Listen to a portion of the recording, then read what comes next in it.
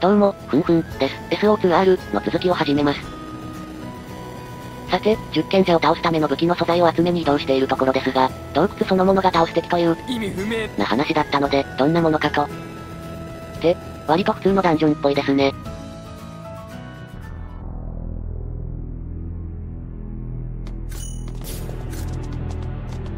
道塞がれていますね。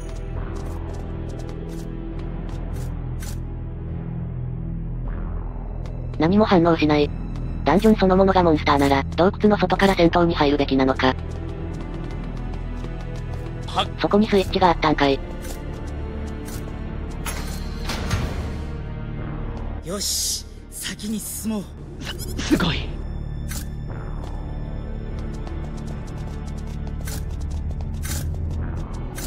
変な音がしてますね。あれが、バーク？思ってたより、岩、ですね。すぐ襲っては来ないみたいだけど、明らかにこっちを見てるよな。ボイスが急に切れるのはやめてほしいです。えー、ミラージュさんは大きなバークを倒せって言ってたわよね。そうだね、近づいて刺激したくない。小さなバーグはできるだけ避けて通ろう。わかったわ。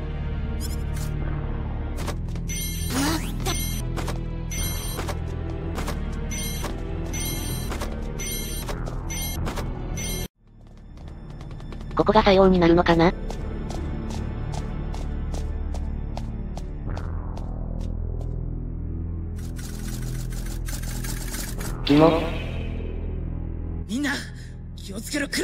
スも来ましたね。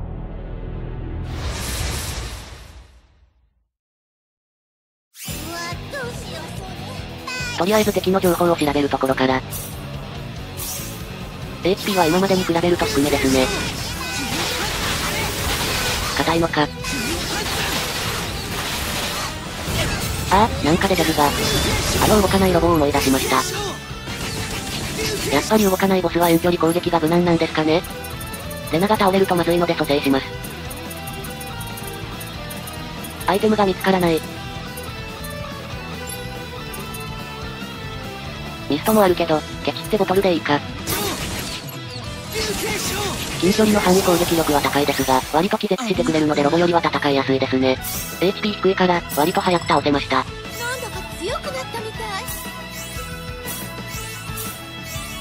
このゲーム、ボスが経験値を多く持っているから、経験値稼ぎはあまりしなくてもよかったかもしれませんね。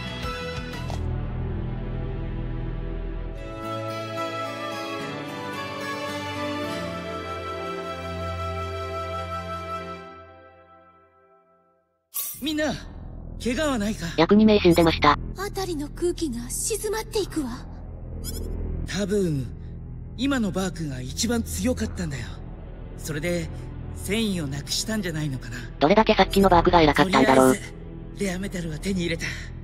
一刻も早くミラージュさんのところへ帰ろう。これで10賢者を倒せる武器を作ってもらえるわけですね。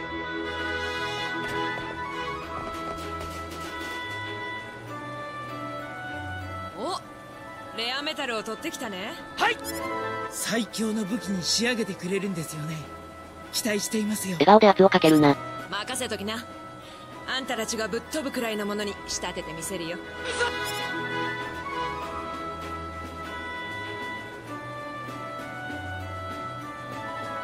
そういえばナールさんは？用事があるって言って帰ったよ。あんたたちに土産を残してね。おじいちゃんには待ち続けるのも辛かったんですね。何ですか？土産って。ファンシティのフリーパス。NPID だよディズニーの年間パスポートみたいなやつですかね。ファンシティなんかで遊んでいていいんですか？市長からの命令だよ。それにアミューズメント施設といっても遊ぶのとはわけが違う。とにかくファンシティに急いで行きな。準備は整っているはずだから。なんか嫌な予感しかしませんね。はい。わかりました。クロードさんですね。はいそうです。すでに市長の方から連絡は受けております。どうぞこちらにおいでください。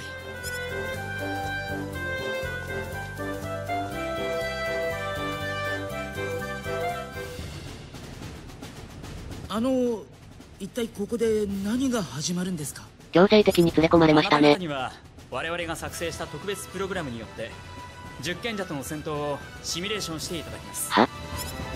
シミュレーション？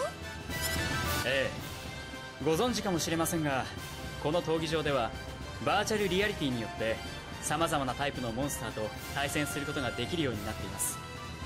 そこで以前のデータをもとに我々の方で10賢者たちの疑似データを作成しました。つまり十賢者との対決の前に最後の調整を行えってことだね。10賢者戦の練習ができるんですね。準備はよろしいですか？それでは始めたいと思います。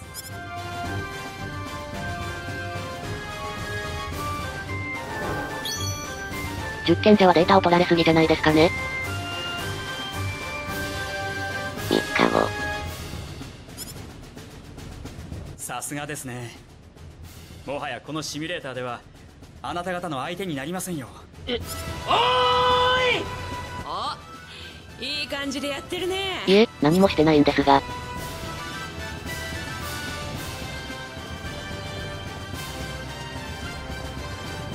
ミラージュさん。いやクロード。元気でやってたかい？見ての通りですよ。見ての通り、3日間経ち続けてました。ミラー。ジュが来たってことはもう反物質武器は完成したんですか？完璧だ。まずはクロード。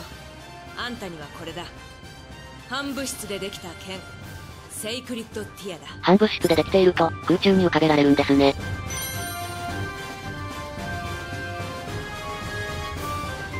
なんかあまり強そうに見えませんでしたけどね。まあ、これじゃないと倒せないなら装備しますが、それからレナあんたにはこれだ反物質でできたナックルファルンホープだやはり浮いてますね。回復術師なのに接近戦を要求される武器で応戦しろと。それからこいつがボイドマターだ。こいつとの共鳴によってみんなの武器がパワーアップする。いやいやいや、他のキャラの武器が雑すぎませんかね？これならクロードとレナの武器もいらなかったんじゃ。このアイテムがあれば何でもダメージ通せるなら、使い方は至って簡単ただ持っているだけでいい使い方まで簡単でしたそれだけ。であんたたちの武器が反物質フィールドに包まれるように調整してある他の人の新武器作る時間がなかったんですね。内心、舌打ちしてそう。それじゃ私は帰らせてもらうとするかなもう帰っちゃうんですか？ああ早めに終わらせておきたい論文とかもあるからな論文書いても意味ないかもしれませんけどね。宇宙が滅ぶ好きですし、最後まで頑張りな私はあんたたちの味方だから。ありがとうございましたミラージュさん。まあ、これでなんとかなりそうなのは事実ですね。及ばないさ。私も作ってて楽しかったよ。それじゃ。本当に武器作るだけのキャラでしたか？さてと。武器も手に入ったことだしこれからどうしようか。乗り込めばいいんじゃないですかね？もう少しファンシティにいた方がいいんじゃないかしらナールさんからの連絡もまだだし。先に帰ったおじいちゃんですね。そうだね。それじゃあもう少しこの闘技場で特訓していようか。次は棒立ち以外で時間を使ってくださいね。特訓したい場合は私に話しかけてください。ナールさんからの連絡がまだだけど一度セントラルシティに戻りましょうか。おま、修行は来たんですね。いや最後にシミュレーションで十賢者ともう一度戦うっていうのはどう？なんか十賢者の模擬戦に楽しみを感じてるバトルマニアがいますね。お前もサイヤ人なんならこの俺が貴様らの特訓に付き合ってやろうか？ボイス入りのシミュレーターだったんですね。煽り機能まであるとか。あれ？観客がいたんですね。久しぶりだな貴様らえ？エルリアタワーの最上階での戦いなかなか良かったぞあれ？十賢者でしたっけ？それにしてもラファエル様の情報通りだ。いい悪あがきをしている。あまり印象に残ってなかったので観客と勘違いしてました。我が名はジョフィエ。ロボですね。お初にお目にかかるとでも言えばいいか。言わされているだけの悲しき存在ですね。こ。んなところに？貴様らが何やらこそこそとやっているという話を聞いてな。俺は知らないぞ。わざわざ我々の方から出向いてやることにしたまでだ。なんでわざわざ来るんですかね？むちゃくちゃこっちのことが気になってる面倒くさい人たちみたいになってますが。いやいや3人で来た意味は。とんだ邪魔が入ったからな。ここで決着をつける3人で来た方がいいと思うんですけどね。私は先ほどの女を追うことにしよう。ストーカーですね。獅子はウサギを狩るのにも全力を尽くすというからストーカーですね。私は好きにやらせてもらう。お前帰れ。あのロボ普通に遊びに来てましたね。あった。奴らを追いたければまずこの俺を倒すことだな。シミュレーションと二人がかりとは卑怯な。倒すんかい。この程度のデク人形に勝てたからといって調子に乗られては困るデク人形よりは強いんですかね？なかなか良い企画ださてお手合わせ願おうか行くぞ前回は全てでダメージだった気がしますが、反物質装置の進化が問われますね。とりあえず情報だけ確認。バーブさんより HP 高いですね。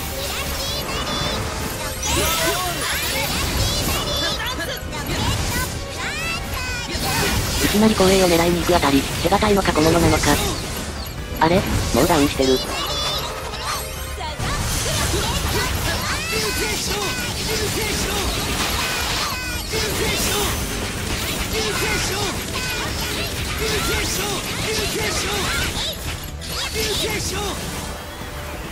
意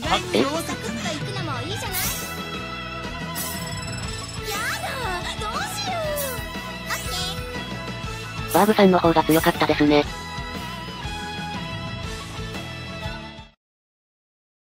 こんなこんなバカな見事だ。クズ貴様らの勝ちだ。まだ生きていたの。逃げましたね。僕たちは勝ったのか。あれ？逃げたんじゃなくて消滅していたんですかね？そうだ急いで残りの二人を追わないとストーカーとロボが残ってましたね。ロボはアトラクションで遊んでそうですが。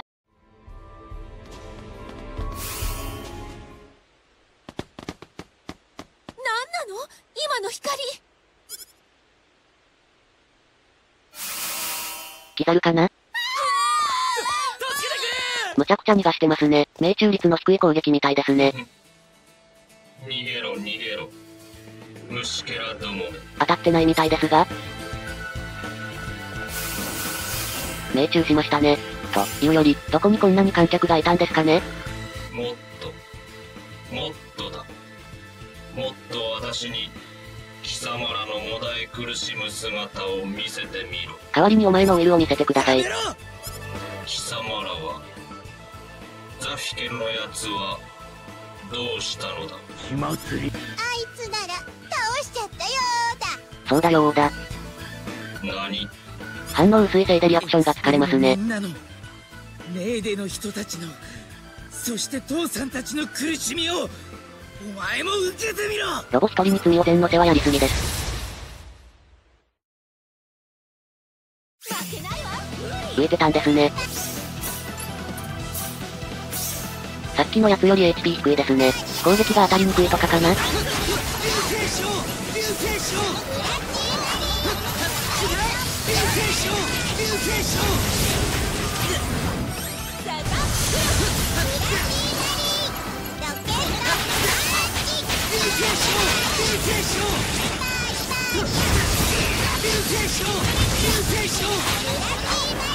あれ？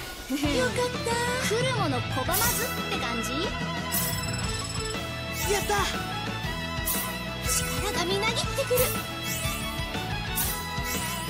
10件じゃ、無敵じゃなくなったら雑魚になっちゃいましたかね？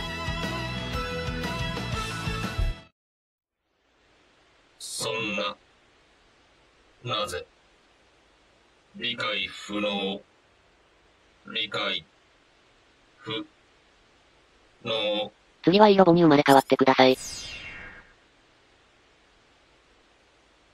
どうにか二人まで倒せたわね。一人と一台かもしれませんけどね。だけど、最後の一人はどこに行ったんだ？ストーカーはいろいろ厄介ですね。そういえば、先ほどの女を追うことにしようって言ってなかったかしら。末期ですね。先ほどの女って？もしかして、ミラージュさんのことじゃないかしら。ストーカーのタイプだったんですかね。大変だ。急いでアームロックに行かないと。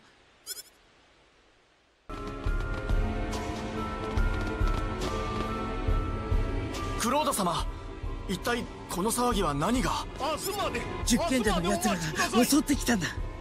二人は何とか倒したけど残りの一人がアームロックに向かっているんだ。早く行かないとミラージュさんの命が危ない。徒歩で向かってたら可愛いですね。大変だ。すぐにセントラルシティに連絡しないと。急ぎましょう。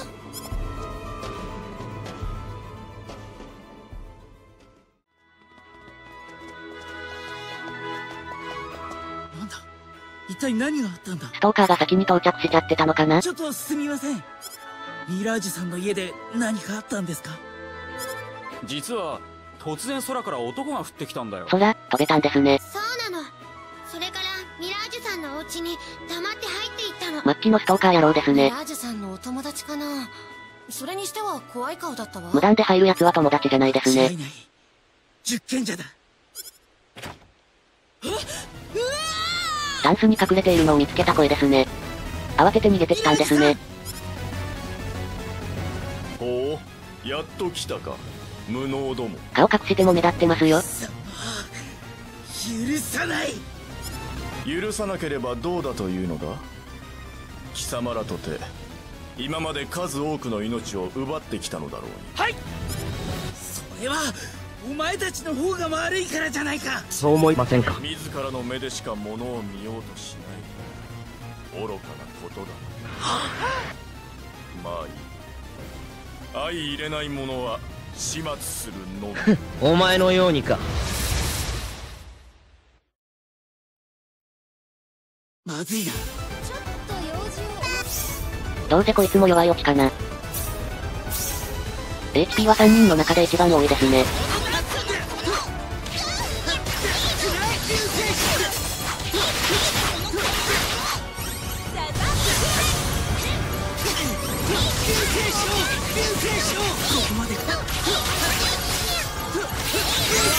意外と反射ダメージが痛いですね。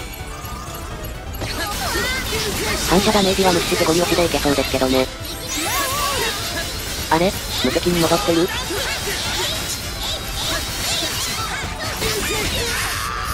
クロードさんお疲れ様でした。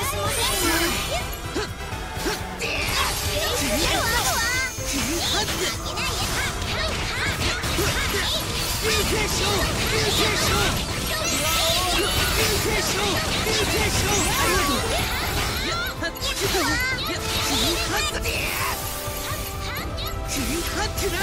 ェイズガンの無駄遣い。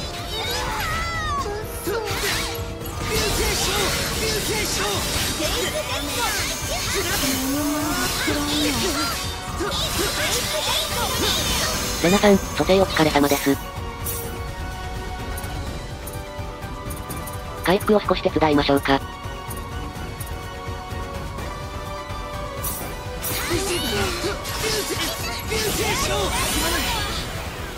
50点ぐらいだ一人倒れている気がしますが、見なかったことにしてください。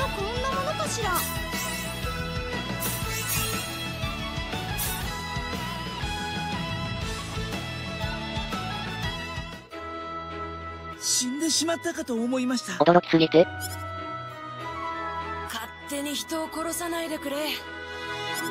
でも反抗しないでやられたふりしてればなんとかやり過ごせるかなって思ったのさ。ストーカー相手に握手では。も、う大丈夫なんですか？さっきよりはだいぶ良くなったよ。レナのおかげだね。まったく市長も私の身の危険に気づかないんだから間が抜けてるよね。おじいちゃんなのでボケは許してあげてください。セント。ラルシティから応援が来ると思います。さすがだねあんたたちおじいちゃんよりかは有能ですね。奴らは確実に焦り始めている。いい気になって準備に時間をかけすぎたことを後悔している。ただの小物集団ですね。それはなんとなくわかりました。私たちの方が思ったより優位かもね。だけど気を抜かないでよ。しょうがないなはい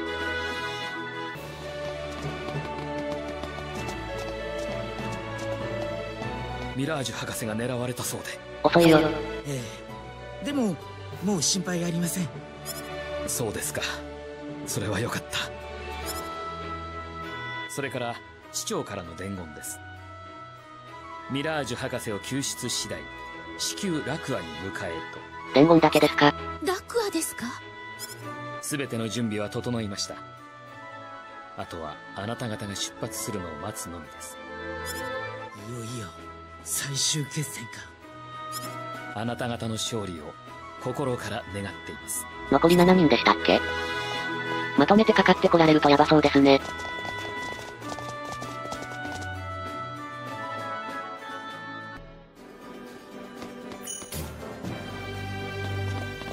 もう夕方ですね。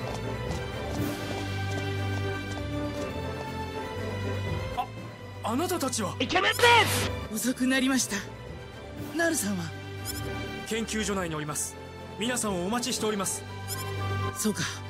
ありがとう。先に帰ってからずっとここで待ってたんですかね。なんだか腹が立ってきましたね。自分たちの星と同族が迷惑をかけているのに、他の星の人間にばかり任せるとか、わざとのんびり進んで待たせてやろうかな。少し休まれますか？はい一日くらい視聴を待たせておきましょう。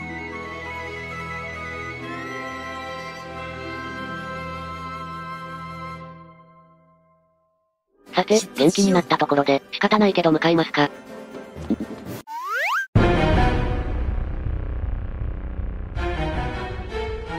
あ、そんなところにいたんすね。よくいらっしゃいましたところでクロードさんすでに最終決戦の準備は整っていると考えてよろしいのでしょうか？やばい。切れてますね。はい。はい。完璧です。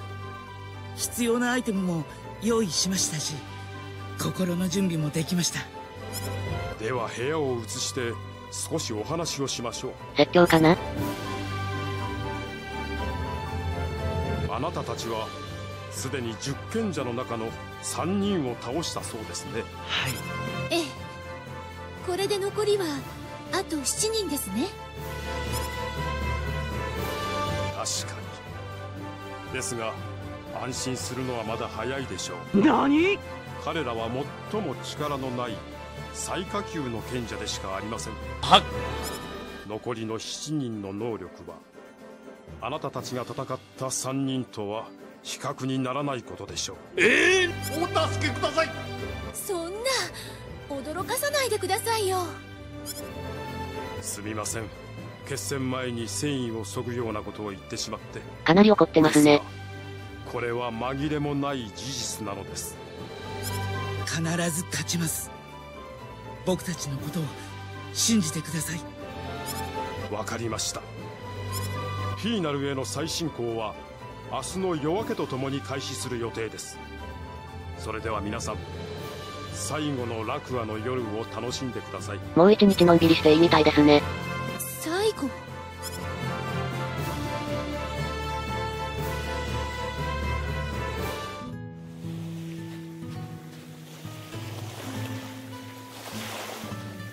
ごめんなさい。急に呼び出しちゃったりして。はい。いやいいよでもどうしたんだい？眠れないの？しょうがないな。違うの。隣いい？はい！あうん。あのねクロード。はい！ん？私最後にクロードにお礼を言っておこうかと思って。そう思いませんか？俺ありがとねクロードのおかげで私今まで頑張ってこれた。僕イケメン！レナ。本当に感謝してる。アレンの時もお母さんの時も。僕。イケメン私がくじけそうになった時いつもあなたが支えてくれた。そう思いませんか？それは違うよ。みんなレナ自身が頑張ったからうまくいったんだそんな。僕はちょっと手助けしただけだよ。あとはみんなレナ自身の力さ。それに僕の方こそレナに随分勇気をもらったよ。俺は知らないぞ。右も左もわからない場所で不安になった時いつもレナの存在だけが心の支えだった。お前は何者なんだ。クロード。はい私？はい！レナ僕ねこの戦いが終わってエクスペリに帰ったら君に聞いてほしいことがある聞いてほしいこと？フラグ。うん。とても大事なことなんだ。聞いてくれるかい？クロード。死亡フラグを立てていくクロードさん。必ず生きてエクスペルに帰ろ。う約束ね。ああ約束だ。さてさてこの先どうなりますことやら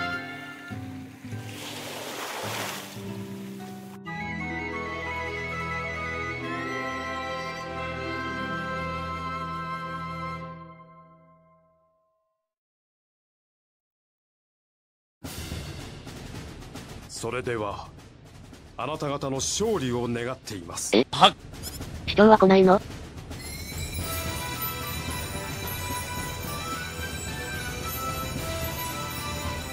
これは何ですか？結界の紋章です。結界の紋章？そうです。以前の戦いの後にお話しした崩壊紋章のことを覚えておられますか？そういえば言ってましたね。ええ。確か全宇宙を崩壊させるための紋章ですよね。十賢者たちを全て倒したとしてもこの宇宙が消えてしまっては意味がありません。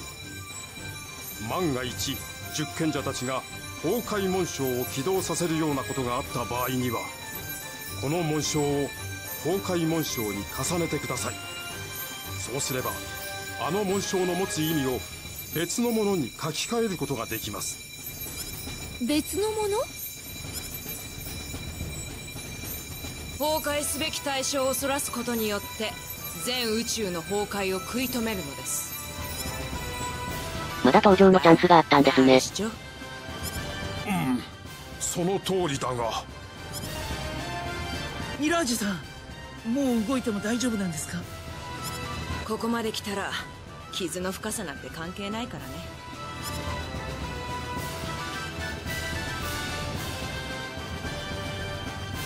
十賢者たちを全て倒せばフィーナルを包むエネルギーフィールドも消滅するだろう。そうすればこのエナジーネーダの全エネルギーを使いエクスペル星を過去の空間から時空間転移をさせてくることができる。時空間転移。まあ簡単に言えばエナジーネーダにぶつかる前のエクスペルをこっちに引っ張ってくるってことだよ。タイムパラドックスだのなんだのと色々細かい問題はあるんだがとにかくエクスペル星を復活させることができるんだ。こちらに都合の良い流れになってきましたね。フィールドが消え次第我々もフィーナルに向かいます。それではご健闘をお祈りしますわかりました。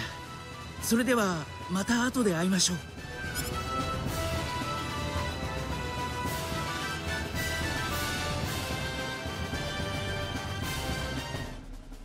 ラクアに帰りたい時は言ってください。先に兵士が帰ってそう。それで。は十分気をつけて。よし行くぞ。本当にクロードたちに丸投げしてるんですね。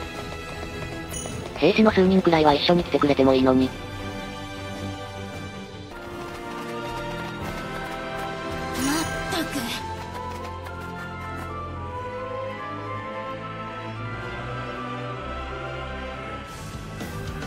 ま、再び来ましたね。謎の長い通路。何人か待っているみたいですね。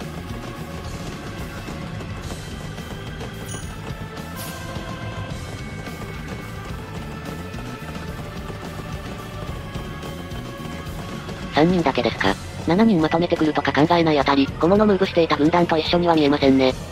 いやあいらっしゃい行ってきまお主らが来ることはすでに見えておったよめ、キモ。いくら君たちでも名前も知らない人に殺されるのはかわいそうですからね自己紹介かな？最後に自己紹介くらいはしてあげますよ名前も知らないまま倒すのもかわいそうですしね。僕の名前はサリケルと言いますラファエル室内ではフードくらい。取ってください。手のひらの目玉は邪魔じゃないですか？自己紹介も終わりましたしもう悔いはないですよね。食えないんですか？ゃ安心せい。あまり苦しまないうちに殺してやる。苦しまずに倒してほしいってことですかね？そうはいかない。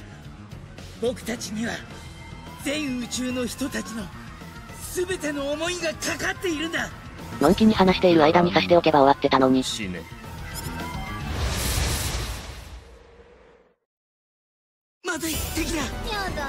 ボス3人同時は新しいですね。一人一人調べるのは面倒ですが。HP 引く。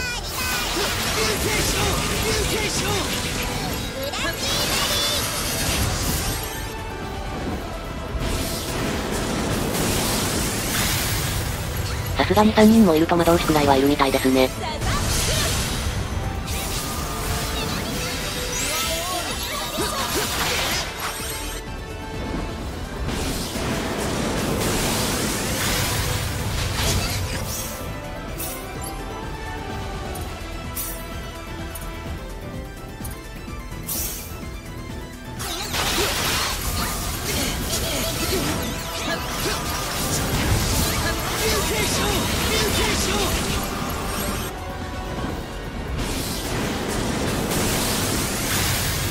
フードの人が魔導士ですか？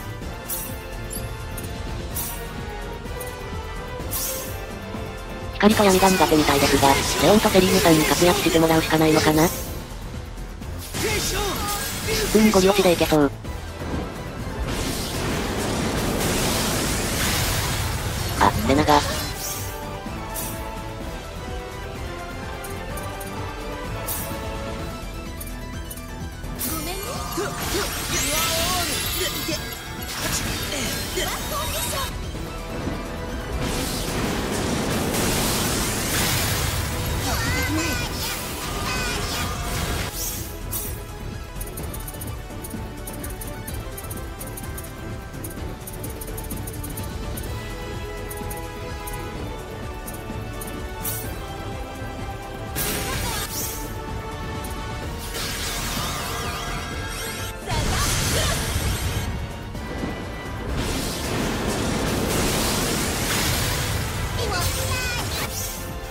イテム使用までのディレイが長く感じます。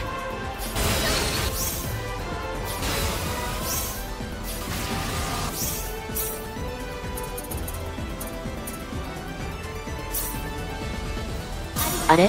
動けない。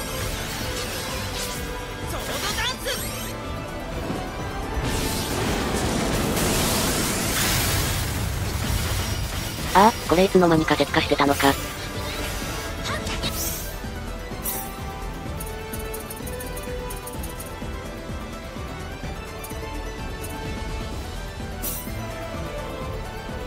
これで戦える。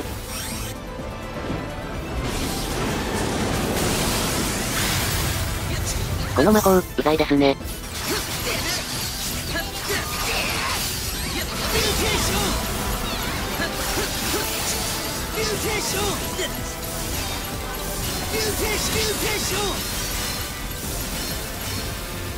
あれ？いつの間にかみんな石化しているよ。と、いう夢を見てたのさ。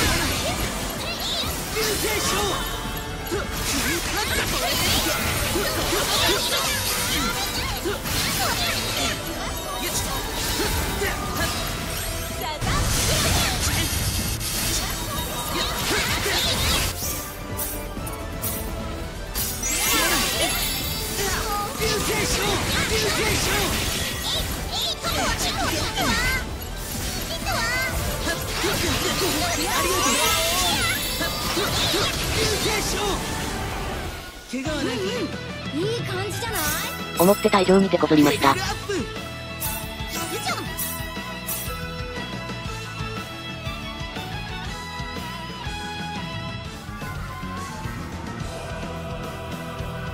そん。なこん。なこと聞いてないよ話してもないです。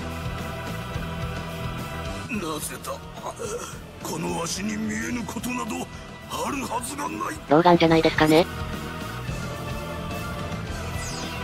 フード君は話さないんかい。これで6人ね雑に消化してますね残。っているのはあと4人ねよし急ごう